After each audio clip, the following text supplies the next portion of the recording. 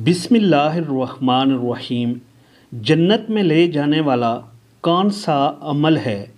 नबी करीम सल्लल्लाहु अलैहि वसल्लम ने इरशाद फरमाया, हज़रत अली रज़ी अल्लाह तहो फरमाते हैं कि मैंने इस मिंबर की लकड़ियों पर हुजूर सल्लल्लाहु अलैहि को इरशाद फरमाते हुए सुना है कि जो हर नमाज़ के बाद आयतल कुर्सी पढ़ेगा उसे जन्नत में जाने से मौत के अलावा और कोई चीज़ रोकने वाली नहीं है। और जो इसे बिस्तर पर लेटते वक्त पड़ेगा, अल्लाह ताला उसे उसके घर पर, उसके पड़ोसी के घर पर, इसके इर्द गिर्द के चंद और घरों में अमन अता फरमाएँगे।